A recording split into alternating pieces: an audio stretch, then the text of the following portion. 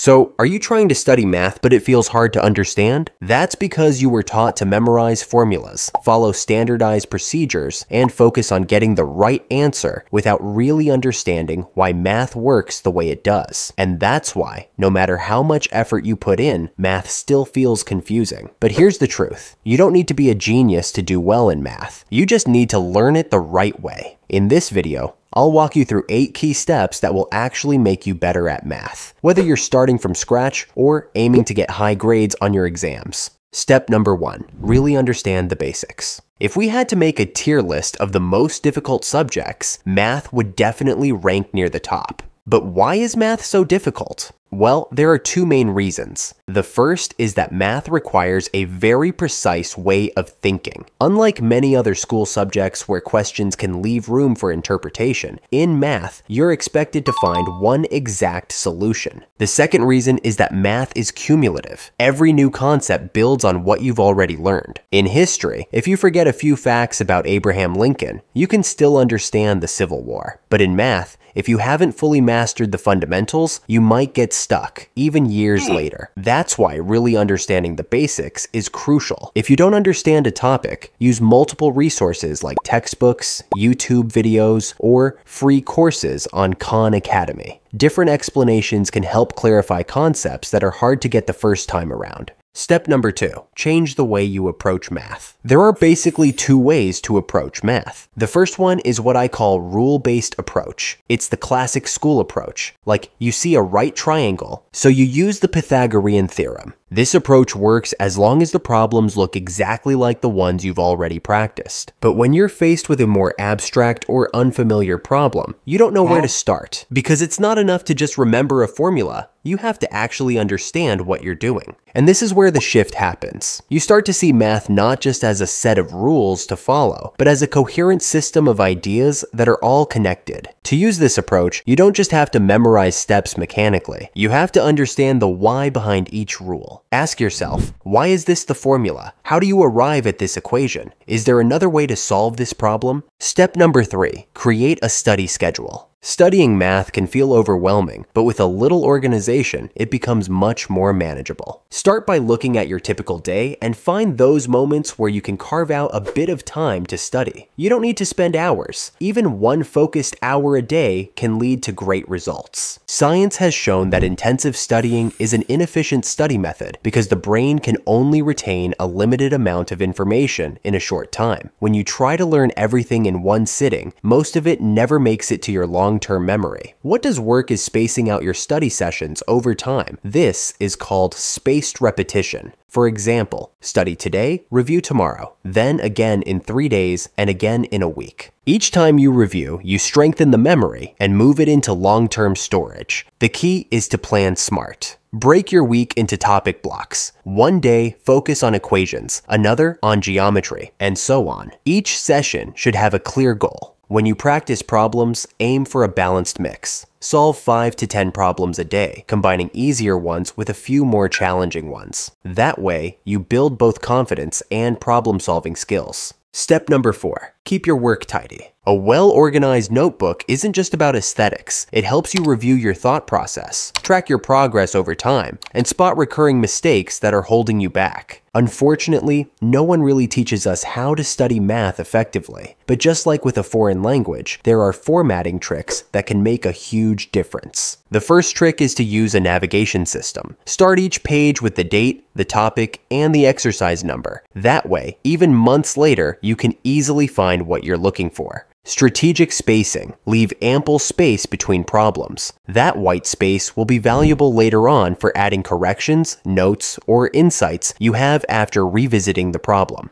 Create a cheat sheet page. Dedicate one page to collecting all the key formulas from a topic, so you'll always know where to find them when you need a quick reference. Self correction system. Use check marks for problems you got right and crosses for the ones you got wrong. This helps you quickly identify which types of problems are giving you the most trouble. Take notes. Every time you get a problem wrong, write a short note explaining why you made the mistake and how to avoid it in the future. Step number five, break down problems. As George Polya teaches in his book, most problems can be solved by following three simple steps. The first is to understand the problem. At this stage, you need to clearly identify what the question is asking and what information you're given. It can also help to draw a diagram or sketch to make things more visual. The second step is planning. Here, you try to connect what you're looking at with concepts you already know. Do you remember a useful theorem? Have you solved something similar before? If the problem feels too hard, try breaking it down into smaller subproblems and solve them one at a time. Let's take this problem as an example. You're asked to find the area of the region of the plane bounded by these two curves. So, to make this problem more manageable, you can break it down into subproblems. The first one could be finding the points where the curves intersect to determine the limits of the area. The second is figuring out which curve is on top and which is on the bottom. The third is setting up and calculating the definite integral that gives you the area between the curves. The final step is solving and validating. Writing down the calculations neatly, and as you go along, ask yourself these questions to check if everything makes sense. Finally, check your answer. Online, you can find tools like Symbolab that can help you verify your solution. You can type in the problem or even upload a photo and it'll walk you through the steps. Keep in mind though, that the goal of these tools isn't to do the work for you, but to support your learning. Step number six, understand math symbols. Mathematical symbols are universal abbreviations that let us express complex ideas in a precise and compact way. Think about it. When you read 3 plus 5, it's instant. But if you saw this and didn't know what the symbols meant, your brain would just freeze. The good news? Learning this language is way easier than it looks. But here's the really important part. Math symbols never work in isolation. They only make sense when combined with other symbols, numbers, or variables. It's just like with spoken language. Knowing the meaning of a single word isn't enough. You also need to know how to use it in a full sentence. Take the sigma symbol. No, not this one.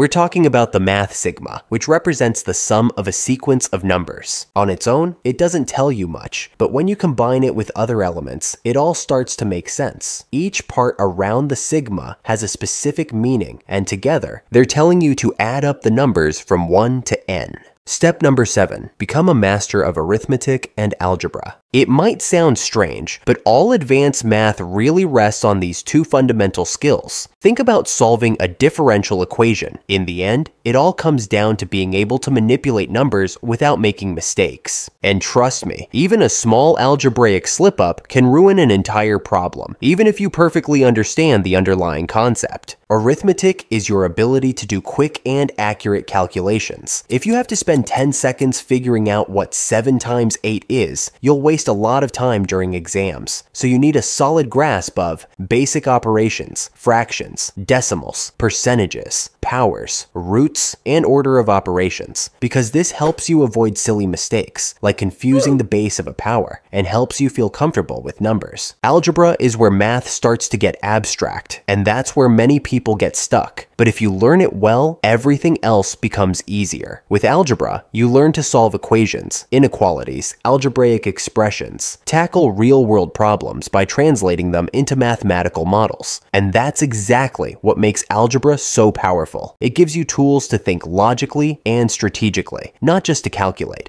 Step number eight, build chunks of information. Imagine learning to drive. At first, you have to focus on every little move, clutch, shift, accelerator, mirrors. But after a few months of practice, you drive almost on autopilot. That's what a chunk is. A group of related pieces of information that your brain stores and recalls as a single unit, rather than as separate elements. In math, chunks can be a formula you've internalized, a step-by-step method, or even an abstract concept. Chunks are incredibly useful because many math problems follow similar structures. Once you've built a chunk, you'll start recognizing problem types instantly and know what strategy to apply. You'll also be able to focus on more complex reasoning without getting tripped up by basic algebra steps, because those will happen almost automatically. The first time you see this formula, you might hesitate, but after turning it into a chunk, your brain instantly knows that it's a right triangle. A and B are the cathets, and C is the hypotenuse. You can find one side if you know the other two, and you'll need to take the square root to isolate C. This kind of thinking will help you a lot. So, How do you create a chunk?